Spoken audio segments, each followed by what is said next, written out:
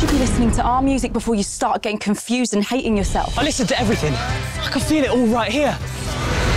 Purpose of your visit? I'm going to see Bruce Springsteen's hometown. I can't think of a better reason to visit the United States than to see the home of the boss. Blinded by the Light premieres Saturday, September 12th, 9 p.m. on HBO.